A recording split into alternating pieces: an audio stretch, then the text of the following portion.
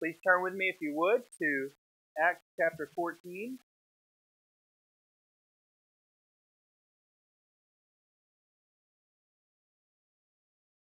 Acts chapter 14, our text this morning.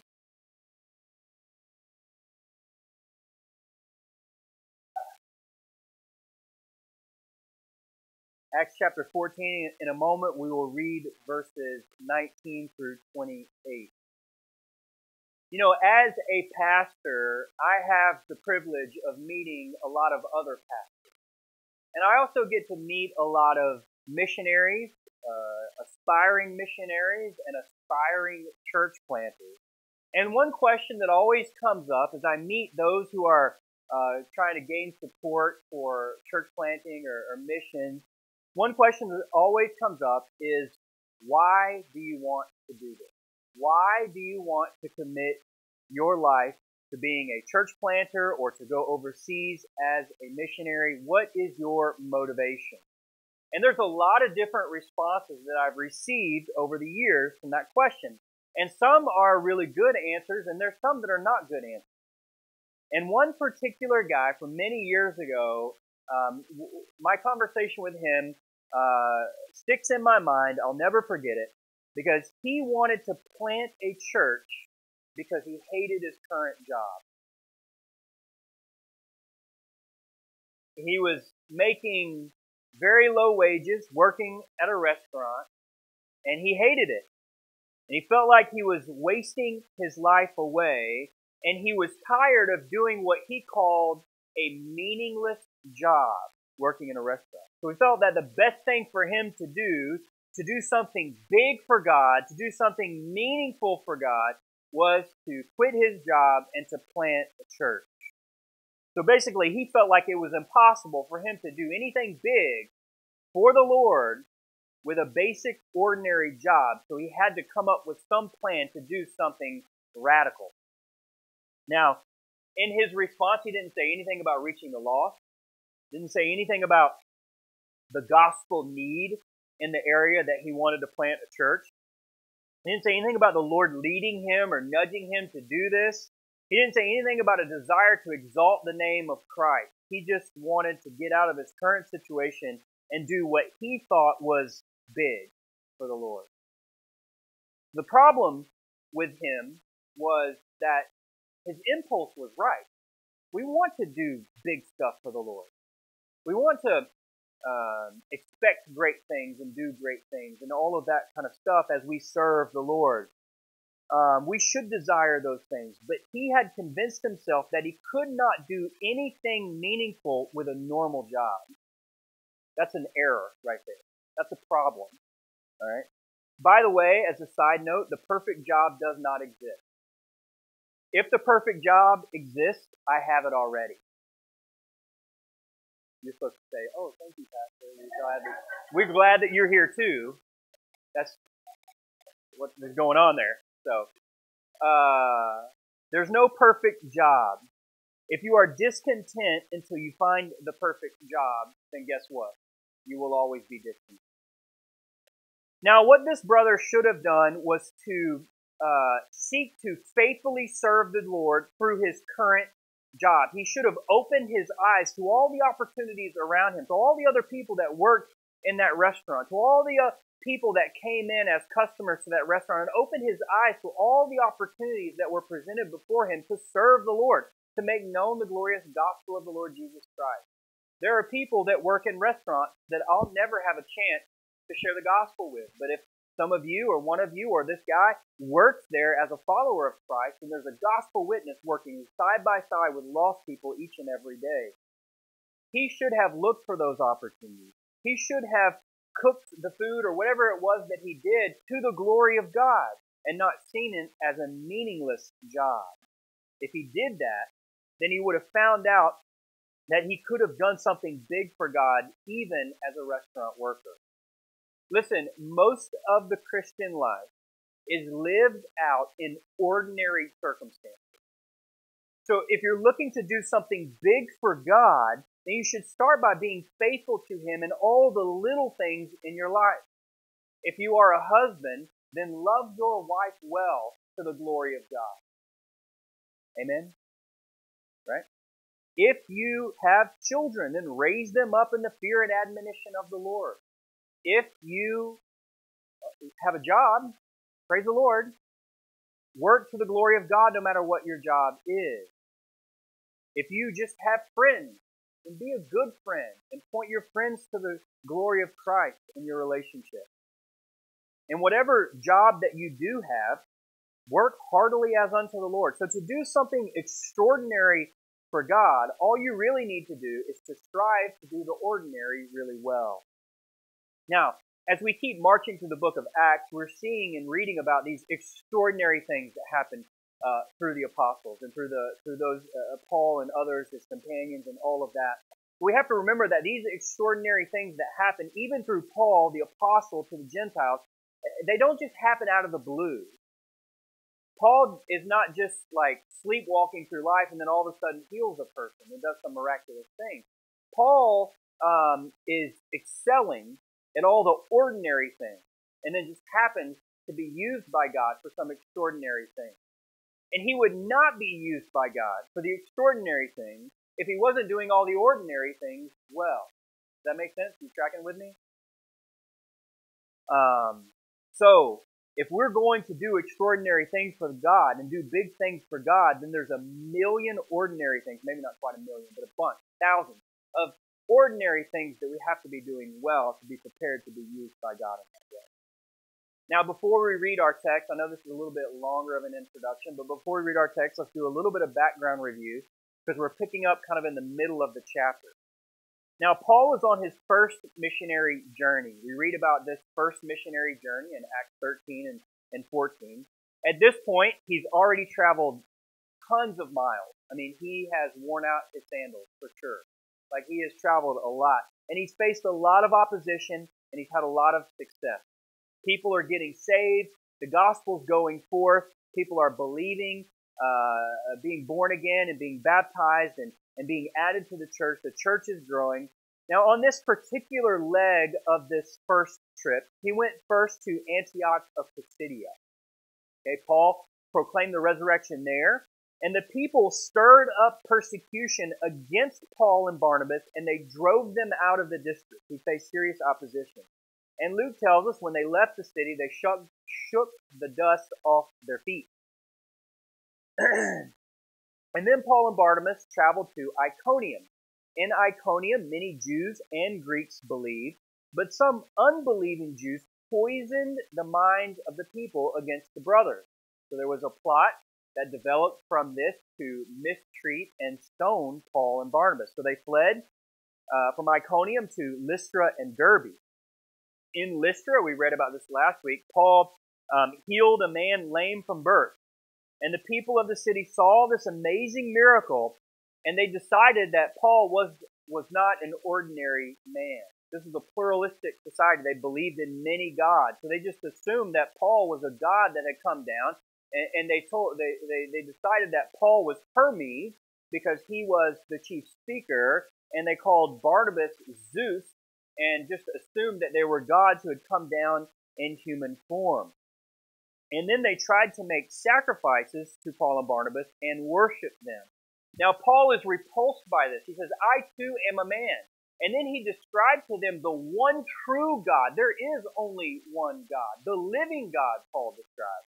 Their pantheon of gods and all these different gods, many of them made of, of wood and stone, they're nothing. Paul calls them worthless things. They are vanity. They are nothing. They're empty in themselves. He says, turn from that and turn to the true living God, the one true creator God. To believe upon his name is to turn away from all others and worship him alone. So we pick up, this is the scene. These people are trying to worship Paul and Barnabas. Paul and Barnabas preach to them the true God and then uh, scarcely, even with those words, scarcely prevented them from worshiping them and offering sacrifices. And then we're going to pick up in verse 19 of chapter 14. Luke writes, But Jews came from Antioch and Iconium, and having persuaded the crowds, they stoned Paul and dragged him out of the city supposing that he was dead. But when the disciples gathered about him, he rose up and entered the city. And on the next day he went on with Barnabas to Derbe. And when they had preached the gospel to that city and had made many disciples, they returned to Lystra and to Iconium and to Antioch, strengthening the souls of the disciples, encouraging them to continue in the faith, and saying that through many tribulations we must enter the kingdom of God. And when they had appointed elders for them in every church, with prayer and fasting, they committed them to the Lord in whom they had believed. And then they passed through Pisidia and came to Pamphylia. And when they had spoken the word in Perga, they went down to Attalia. And from there they sailed to Antioch, where they had been commended to the grace of God for the work that they had fulfilled. And when they arrived, and gathered the church together, they declared all that God had done with them and how he had opened the door of faith to the Gentiles. And they remained no little time with the disciples. Let's ask the Lord to bless our time. Father, we thank you so much for your word. We thank you for the faithfulness of Paul and the way that you used him to move the gospel across the world to the ends of the earth. Father, I pray that we would walk humbly through this text and that you would have us to see what you'd have us to see. Father, I pray that every word that's spoken uh, will will be um, faithful to your word and will bring you glory. We love you. We need you now. And it's in your name we pray. Amen. So our text begins this morning with unbelieving Jews coming from Antioch and Iconium. So unbelieving Jews are coming from cities that Paul had previously preached at. They weren't content with him just leaving the city. They followed after him. Um, and they wanted to hunt him down and stop him from, from proclaiming the truth of the gospel. So they come to um, Lystra and they persuaded the crowds against Paul. Now imagine this scene. You know, we are not told exactly how much time transpires between all of these events, but Luke reports it pretty rapidly. At one moment, the people are ready to offer a sacrifice to Paul and Barnabas, claiming them to be gods, Hermes and and and and Zeus. By the way, the Latin, you know what the Latin translation of Zeus is? Jupiter. Where we live. So, well, I don't live here anymore. So, so that's on y'all. Y'all are accountable for that. But um, nonetheless, um, they're ready to offer sacrifices to these guys. They're thinking that they are gods. And then these unbelieving Jews come and stir up the crowds and persuade the crowds. And now they pick up stones and stone Paul and, and, and think he's dead and drag him out of the city. Here's at least what we should take away from that. The crowd, it just, it, it almost doesn't matter what crowd it is. The crowds will always be fickle. You know, we live in a day and age where people wake up in the morning and see how many subscribers they gained overnight. You know, how many followers do I have? How many friends do I have?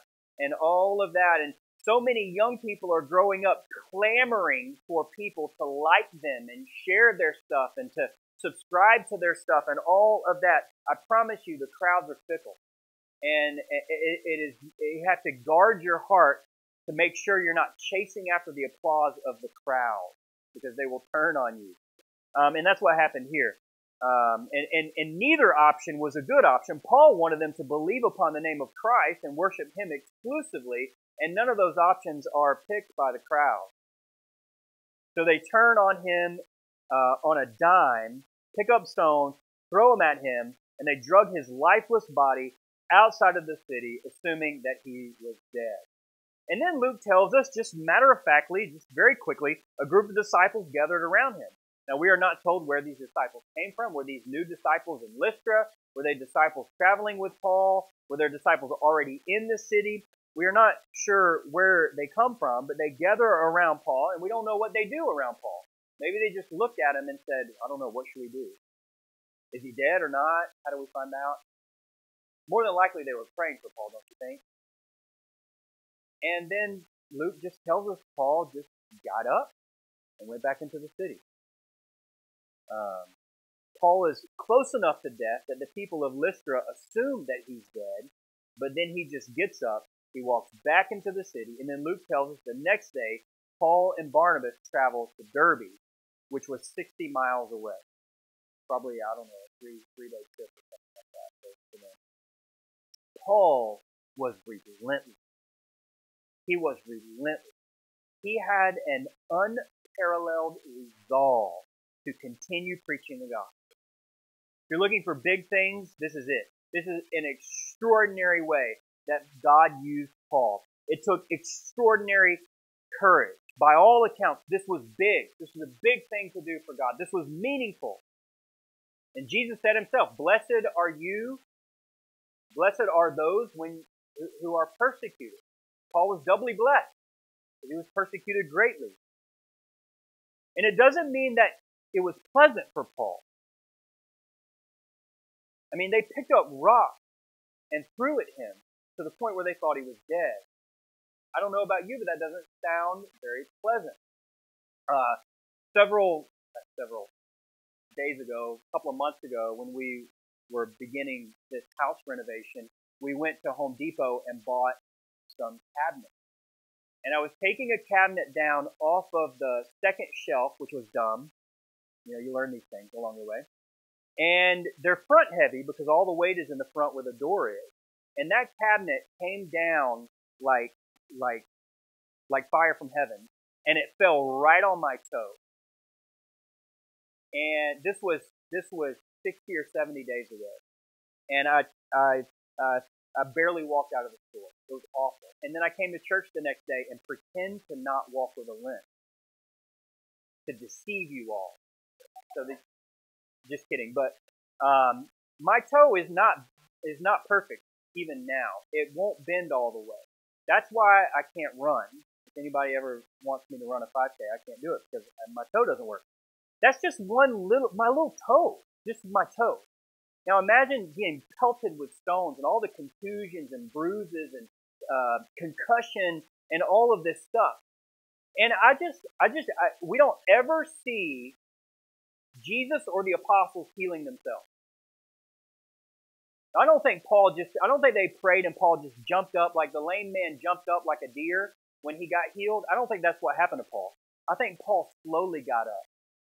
I think he was bleeding all over the place. I think he had a, I think he was concussed. And I think that he had bruises all over him. And I think that he got up and they helped him limp back into the city. I think Paul was really tough.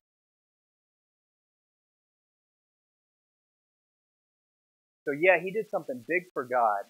But I think when Paul later in his life would write things like, our outer self is wasting away and our inner self is being renewed day by day, I think he meant that. I think that Paul, by the time he got to the end of his life, when he's writing Second Timothy, I think Paul had scars all over his body. I think Paul was beaten up all over the place. I think he had spent his life for the glory of God, and it left him a, a shriveled up man that, that, that body was failing. Now, as we think about Paul, the, the point I want to make is this. We should admire his courage and his conviction and his boldness and his commitment to the Great Commission. And we should want to see more and more missionaries and church planters and pastors raised up and, and ha- have a willingness to go and do hard things. We want to have that here at our church. We want some of you young people eh, eh, as the Lord leads for, for God to send you to the hard places. And we'll support you for your whole ministry. Like we want all of those things to happen. But I think Paul would tell us if he was here this morning to not look to some far off extraordinary thing that you might do for God 10, 15 years from now. I think Paul would tell you to excel in doing all the ordinary things in our daily lives that we do for the Lord Jesus Christ. I think too often we have a youth camp mentality about the way that we serve Christ. I remember going to youth camp just a few years ago. That was a joke too. Like when I was a teenager, you go to youth camp and you'd have this big emotional experience, right? And the Lord works through that. But I would come back, I remember I would come back, and then growing up where I grew up in the South, I would come back and I'd tuck my shirt in. That was just a little hint to everyone that I'm different. Uh, I know that sounds weird. But in the churches I grew up in, if you tucked in your shirt and you buttoned it up all the way, then you, you were that was a sign of maturity, the way you look. You know what I'm talking about, don't you? Some of that. Um, and I would carry my Bible with me. I didn't really read it, but I carried it with me just so everyone would know how godly I am. And then you know what would happen. The youth camp high would come down, and then three months later, I was doing all the wretched things that I had been doing. Youth camp is great. Uh, mountaintop experiences are great. But if they don't produce lasting change in our lives, then they're pointless. I feel like these grand, big emotional experiences that everyone chases, sometimes they're like a like a balloon. You ever blow up a balloon with your kids and you get it real big and then you let go of it? And there's all this activity. It blows all over the place. It makes all this noise and the kids laugh. It's this great moment. And then what you have left over after it settles down is a little balloon, stretched out balloon with slobber all over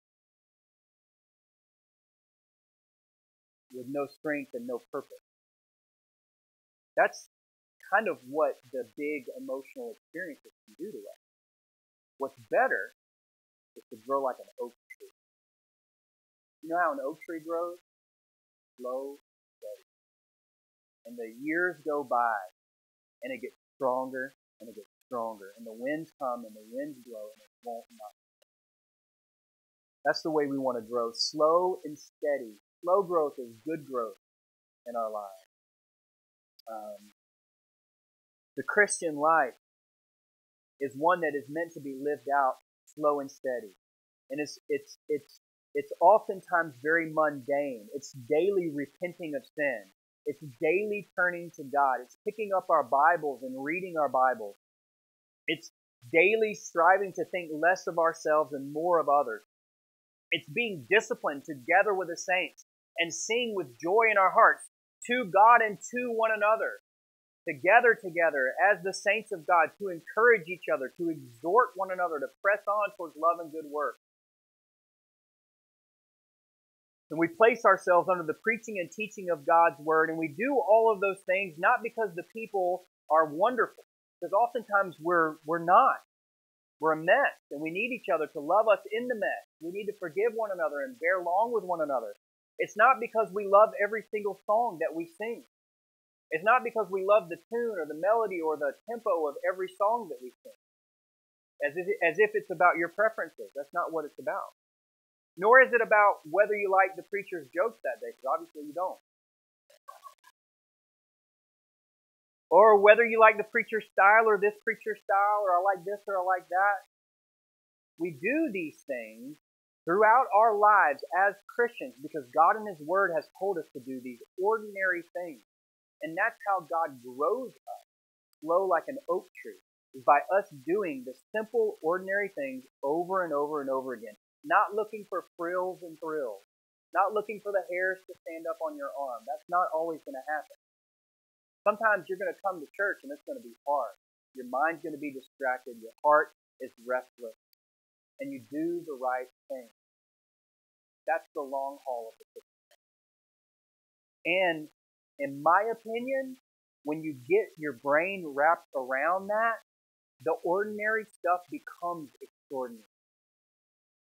And, and there's, there's nothing like being with the people of God in your own local church and hearing your voices. I like, you know, we all kind of sat down a moment ago when we were supposed to stay standing, you know, but we sang with, with no music and, and we heard everyone's voices. Like those are sweet moments that we do together. And, and that may feel like no big deal, but that's a big deal. It's a big deal for us doing that together. All right. Verse 21, Paul and Barnabas went to Derbe and preached the gospel there. So they leave Lystra. The next day they wake up, they go uh, make their way towards Derbe, And Luke tells us that they made many disciples there. Now, that word for made many disciples or made disciples is the same word used in the Great Commission in the book of Matthew, Matthew 28, 18 through 20. Um, um, this, this is the heart of the Great Commission. In Matthew 28, it is the primary verb, make disciples. This is what we do. This is what the churches strive to, uh, the church strives to do is to make disciples. Now, in order to make disciples, the gospel must be proclaimed. That's the first step. So Paul would have established there in Derbe that there is only one God. He is the creator of the universe, and he is holy, and all of humanity is accountable to him. He is the judge of the living and the dead, and all have sinned against him, Jew and Gentile alike. All of us have rebelled against our creator and stand guilty before him and are culpable before him and are um, worthy of his judgment. But God sent his only Son, the Lord Jesus Christ, who died as a substitute for sinners on the cross. He bore our sins in his body on the tree. And to be saved, everyone everywhere must turn away from sin and place their faith and trust in Christ alone. Jesus said, I am the way, the truth, and the life. No man comes to the Father except through me. There is only one way. There is no other way but through Christ and Christ alone. But also, Jesus tells us in the Great Commission that making disciples also involves baptizing them in the name of the Father and of the Son and of the Holy Spirit and teaching all that Christ commanded. So, Paul must have been in Derbe at least a little while in order to make disciples. He didn't just go in there and preach the gospel and blow out. Like he he stayed there. He invested in them. And we see later that he comes back he does follow up. So, verse 21, they returned to Lystra, Iconium, and Antioch. Paul was committed to making disciples, so much so that he retraced his steps despite this terrible persecution that he endured in all of these places. He went back because he needed to follow up with those who had placed their faith in trust. So Paul and Barnabas sent out uh, originally from the church in Antioch of Syria. Um, and, and, then they went on this long missionary journey, and now they had kind of circled around and they were in this city, Derbe. I'm, I can not remember exactly how far Derbe is from Antioch of Syria, but it would have been much shorter for Paul to just go from Derbe back to Antioch of Syria. Okay, he could they could have walked there on foot. But he doesn't do that. He goes in the opposite direction and goes back through these cities because he wants to do follow up with all of these disciples that had been made. And then Luke lists out this follow up plan that Paul did. First, he wanted to strengthen the souls of the disciples. How do you do that? Well, surely this involved further teaching and admonition. This involved discipleship. This was shepherding and pastoral care. Second, he encouraged them to continue in the faith or to persevere in the faith. He wanted them to keep believing the gospel. Don't turn to anything else. Keep your focus on the gospel. Don't get tired of the gospel. Don't move on from the gospel. If you go deeper in theology, go deeper in the gospel. That's what Paul was striving to do here. Third, he was saying that through many tribulations we must enter the kingdom of God. Now, I think that what Paul was essentially saying here is that for the born again Christian, there is trouble awaiting each and every one of us from here to the time we go home to be with the Lord. That's what he said. That's what the Bible says. There's trouble. Now, that blows apart the prosperity gospel, doesn't it? You need to turn that garbage off your TV if it ever comes on. You ain't have it. Because it's lies. The Bible does not promise us uh, perfect health and wealth and prosperity. The Bible promised us, promises us that there will be tribulation. So we should not be surprised. Peter says, Don't be surprised when the fiery trial comes upon you, as if something strange were happening to you. And yet we do that every time, don't we? What? What? what? Something bad's happening to me. We're all that way. I'm that way. Listen, if you are a follower of Christ, if the Spirit of God resides within you, Christ is your Lord. When the difficult things come to your life, it is not the absence of God working as if He forgot about it. When the difficult things come, it is the presence of God working in your life. It is the means that He uses to increase your faith and to teach you about who He is. And you can be sure, no matter what happens and how many tribulations or hardships or difficulties you face and what how severe they are or what they are, you can be sure that in all things He is working uh, them all together for good. For all those who love God and are called according to His purposes, He is working it out for our good. We're learning to trust Him in the midst of difficulty, and He's refining our faith through it all. And we know for certain that no matter what we face, we are in His grip every step of the way. He's working out his purposes in our lives. And we also know that nothing shall separate us from the love of Christ. Not even. So, fourth, they appointed elders in every church. The plan for the church was not for the apostles to be venerated and, and, and to, to be the rulers forever. That was not the plan. The plan was for them to uh, make disciples as the foundational office of the church, and then establish elders in every church. Now, notice a few things. First of all, it's plural elders in every singular church. Okay? We believe strongly in a plurality of elders. There should be more than one pastor in every church. We should strive to have more than one pastor in every. Um, but the long term plan was for men to be raised up indigenous elders from these local churches. Not just missionaries coming from the outside, but people who live there from there being raised up to serve there. Um, and these elders would have the ongoing responsibility of shepherding and overseeing the local church over the long haul. So they would continue the work that Paul began, strengthening the souls of the disciples, encouraging them to continue in the faith and teaching them that uh, we have to enter the kingdom of God through many tribulations. So Luke tells us they fasted and they prayed over these leaders and they committed them to the Lord. And then verses 24 through 28, Paul and Barnabas are making their way back to the church that sent them on their journey. So they travel back through the, the whole route uh, that they went, and then they sailed back to Antioch of Syria. And Luke says this is the place where they had been commended by the grace of God for the work that they fulfilled. So we read at the beginning of chapter 13, we read about Paul and Barnabas being sent out for this missionary task. They were sent out by the Holy Spirit. Luke says both. They were sent out by the Holy Spirit and sent out by the church. And what that indicates to me is that the Spirit works through the church. The church sends missionaries. The church plants churches and the Holy Spirit is working through the church. Okay? So there's there's no category in the Bible for rogue people that are trying to plant churches or be missionaries apart from the local church. It is through the local church that God fulfills the Great Commission. So we have a responsibility. All of us, not just me, all of us have a responsibility to raise up those who would be missionaries, those who would be future pastors and elders and all of that. Uh,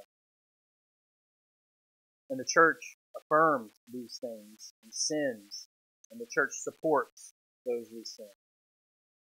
So, this is the pattern that we see laid down in the church in Antioch.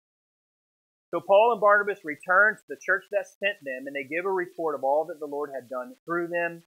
Can you imagine the celebration of that, that church service? They gathered the whole church together, reported them all that had happened. I'm sure that was a glorious time. And part of their report included Paul saying, uh, describing to them how God opened a door of faith for the Gentiles. Now, that little bit of information is important as we get into chapter 15, where we start to think about the Jerusalem Council and some of the opposition that they faced and the difficulty of uh, the church now being Jew and Gentile. We'll talk about that over the next. Now, my friend that I mentioned in the beginning who wanted to plant a church. He never planted a church that I know of.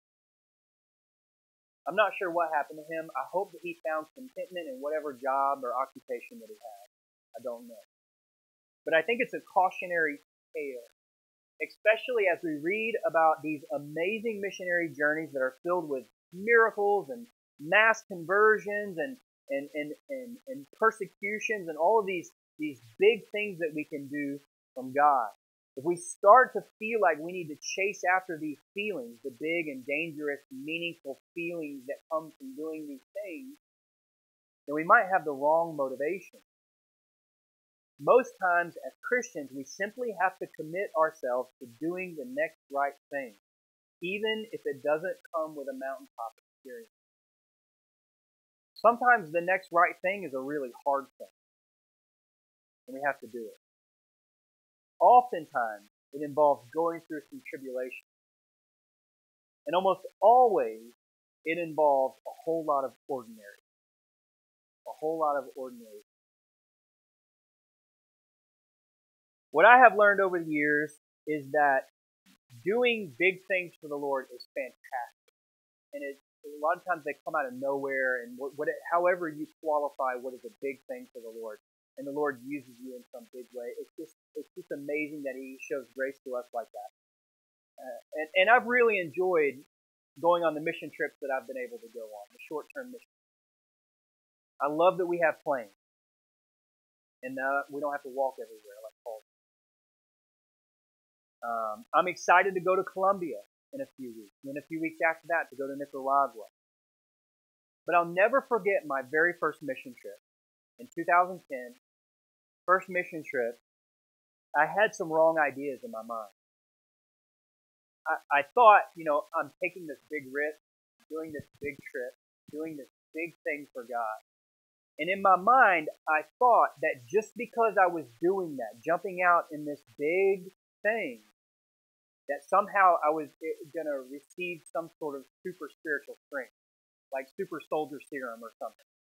And like my senses would be heightened and I would be more godly and I would be less afraid to share the gospel and I would my sin struggles and temptations in my mind would just go away and suddenly I would yearn for God's word like never before and I would uh, pray with a, a, a dependent Spirit like never before, and then God would use me greatly, and all this wonderful stuff would happen.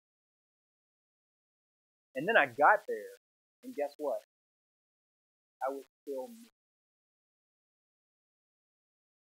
I was still me. I still had same Pastor Paul weaknesses that I've always had. There was no extra boost spiritual energy or anything like that. I was me. Listen, you can't just change your surroundings and expect to become a different You can't just step out on a limb and take a big risk for God and then all of a sudden you're different. Because change doesn't come from changing the outside. Change comes from changing the inside. And the Holy Spirit changes you from the inside. That's how change happens. And that does not happen quickly. That happens slowly, gradually, over time, like an oak tree grows. And listen, this is what I want to leave you with. You can rejoice. You can rejoice because God has promised that He will complete the work that He began. So we just got to set our face towards all the ordinary things, when the big things happen, if, if something God uses for something spectacular, we rejoice. We humble ourselves and we rejoice. We just commit ourselves to doing all the ordinary things. And then we just watch Him work. And He is faithful to do that. And it's perplexing that He remains so committed to our growth and sanctification. It, it, it doesn't it perplex you the older you get? That He just keeps loving serving, keep extending grace. He keeps taking care of us. It's glorious. And what happens, what will happen, I promise you this will happen, is that you will start to see the ordinary things like just singing together, like we're about to do, and just praying together, and just even greeting one another in the Lord. By the way, that's one of the one another's we're commanded to do. Just greet one another in the Lord all of these ordinary things become extraordinary. And they become means for great joy in our lives as we seek to follow Christ. All right? So let's go to the Lord in prayer. Father, we thank you so much for your word this morning. You are kind and generous to us. And we thank you so much that you extend grace to sinners like us. Father, we thank you that you have promised uh, our future.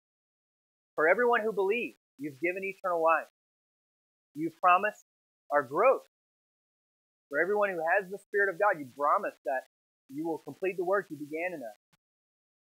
Um, we thank you so much for that. Father, we thank you that uh, that even through tribulation, you are at work in our lives. You have purpose and meaning. Even if we don't understand, we know that you are causing all things to work together for good. Father, I pray for anyone in this room that has not placed their faith and trust in Christ alone. God, that by your Spirit, you would show them how desperate they are for you. That you would show them their lostness as a gift of your grace. Open their eyes to their situation before you. And Father, I pray that they would turn from their sin and that they would place their faith in Christ alone and that you would cause them to be born again. Father, I pray that that will happen. We love you and we trust you in Jesus' name.